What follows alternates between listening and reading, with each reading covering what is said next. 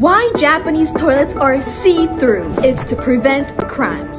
Once, a perverted guy was waiting inside a public toilet, naked from his waist down, just to be seen by people. So, Japanese architects created see-through public toilets. But how would it stop crimes? The walls are completely clear, so it's easy to tell if it's safe to go in. You lock the door, it becomes foggy and no one can see you from the outside. Unlock the door and it becomes see-through again. Now we have a toilet everyone can use safely. Do you trust the Japanese technology? Brought to you from Japan. Janet!